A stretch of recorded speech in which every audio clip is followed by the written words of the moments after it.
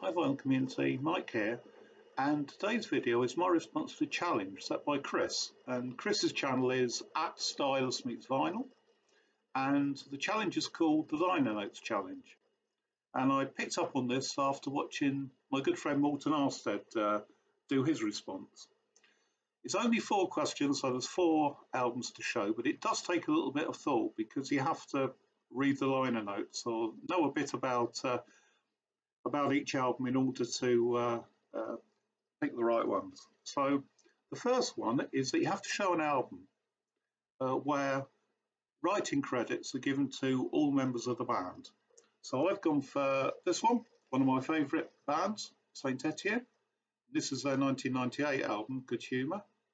And uh, the members of uh, Saint Etienne are Sarah Cracknell, Bob Stanley and Pete Wiggs and uh, on the back it says all songs written by Cracknell, Stanley and Wiggs. So there you go, all tracks, all songs written by all three members of the band.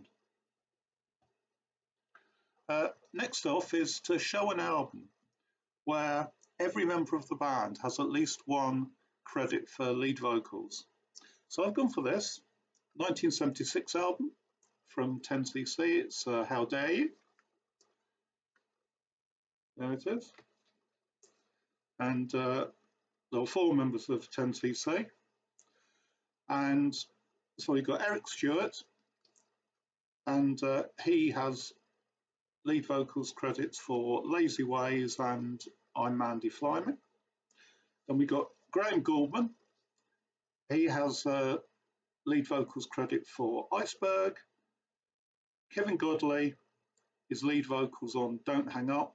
And finally, Lol Creme is uh, credit, credited with lead vocals for I Want to Rule the World. So four members of the band and all four have uh, lead vocals credits. Thirdly, uh, show an album where there are two lead vocalists. And I've gone for this one, 1966 album. This is a mono original, it's Fresh Cream. And uh, the trio, of course, very famous. So it's uh, Ginger Baker on drums, and you've got uh, Eric Clapton on guitar, and Jack Bruce on bass. And Jack Bruce was the the main singer with uh, Cream, and uh, he he's got the lead vocals credit on um, most of the most of the tracks on this album. There are a couple of instrumentals, but on one track, uh, Eric Clapton has got uh, lead vocals and that is uh, Four Until Late, which is uh, a bluesy number that uh, has been arranged by uh, Eric Clapton. So, two lead vocalists uh, on this album.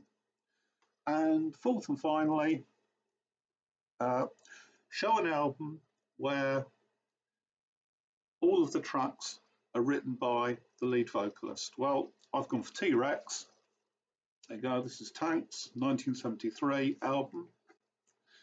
And uh, all of the tracks on this album are written by the lead vocalist, Marc Bolan. So there you go. So that's a challenge. I thought it was a really interesting one because it requires you to think a little bit about uh, uh, what you're going to choose. So uh, anyway, go over to uh, to Chris's channel. As I say, it's called uh, at Stylus Meets Vinyl. I'll put a link in the description and uh, have a go yourself. So until next time, bye.